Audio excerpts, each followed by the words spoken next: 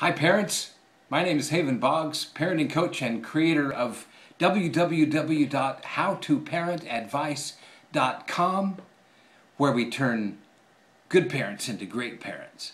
And today's question is about a mom who has a three-year-old and a one-year-old and she wants to learn how to prevent some of the problems that might arise between siblings before they even come up and that's a great focus and a great question.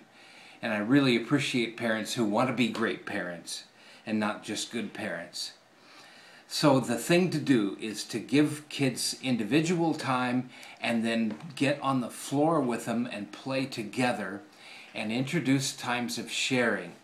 And I've had great success as a parenting coach. This is a, a great time to get some help from a parenting coach because the coach can come in help establish some routines and rules and expectations for the whole family that can really come in handy as the months grow into years and as the kids grow up together.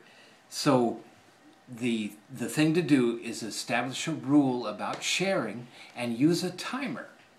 And now with with the cell phones so advanced as they are, you can use your cell phone as a timer. The timer goes off, set it for maybe three minutes.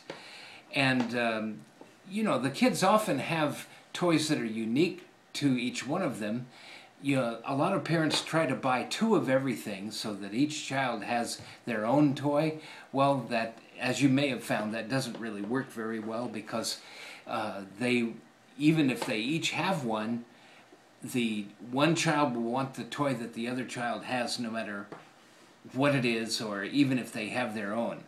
So use the timer and uh, begin with the youngest child having the toy, set the timer and say when this timer goes off, the bell's going to ring and then it's time to share.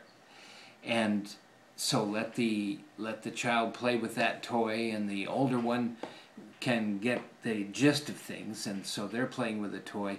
The timer goes off. Help your little one share that toy with the bigger one. Make it happen, even if there are tears involved. Set the timer again.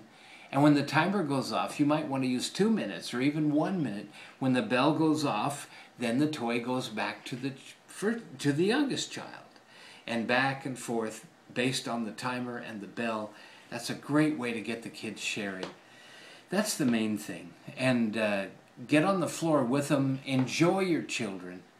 That's, they're really God's best gift. So that's enough for now. If you'd like some more help or some parenting coach, go to www.howtoparentadvice.com. And until then, this is Haven Boggs saying happy parenting and God bless.